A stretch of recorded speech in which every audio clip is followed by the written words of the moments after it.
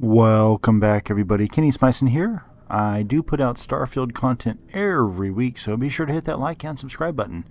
And this week I was working on my rating system for the 2x1s, and I kind of realized that the B variants to the Nova Galactic and the Stroud are simply, uh, they're not simply just a uh, mirror image of each other. I thought they were just like a flipped version.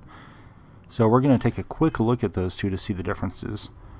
Now, here's the A for a quick reference. Okay, we've got a shower in the back, table, galley, single bed, research station, navigation console. And it's worth noting the ladders um, do not cause anything to be missed. Okay, so that's the the A, and the B is quite different. Um, starters, the shower is in the front, along with this couch. This ladder uh, does not cause anything to be missed. Got a chair here, a monitor up there. Got a couch, monitor, two beds, three lockers, another bed, and a table, and a little eating area. But there's no functional galley or research station, so those are two big hits to this. Um, and I don't know, it's like th this one wants to be good.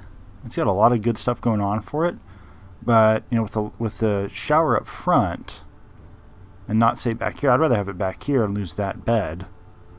Um, it ends up kind of creating this weird thing where if you you you can lose the shower up front if you're trying to have your entrances and windows up there.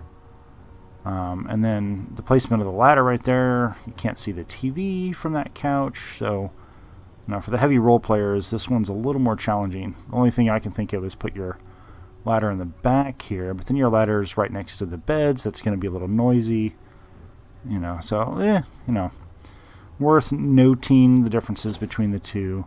Um, and obviously here uh, it is when when you have all your windows and doors, you lose everything up here for the most part, um, except that chair.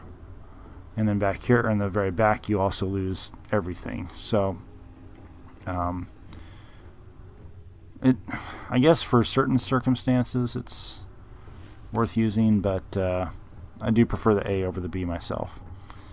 Alright, uh, and then the Stroud Eklund. So this one is more just of a mirror image with a couple exceptions. So up front you've got your table on the right, galley on the left, you got your beds in the middle, uh, shower on the right, uh, crate and storage and table on the left. But this one does mostly just flip it around. However, um, in the back, the mo most noticeable difference is this table.